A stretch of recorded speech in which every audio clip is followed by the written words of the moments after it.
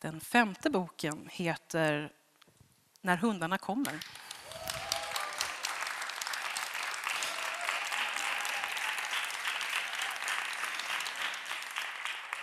Och den är skriven av Jessica Schiefauer och utgiven av Bonnier Carlsen.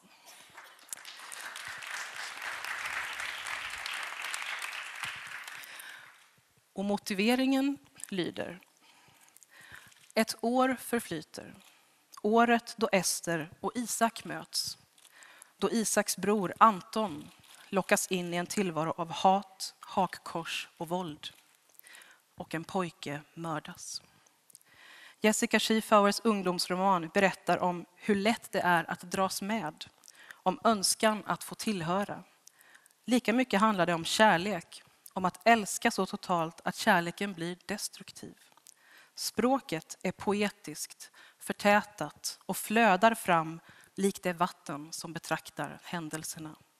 Ett språk slipat med omsorg för att berätta detta hemska. Gratulerar.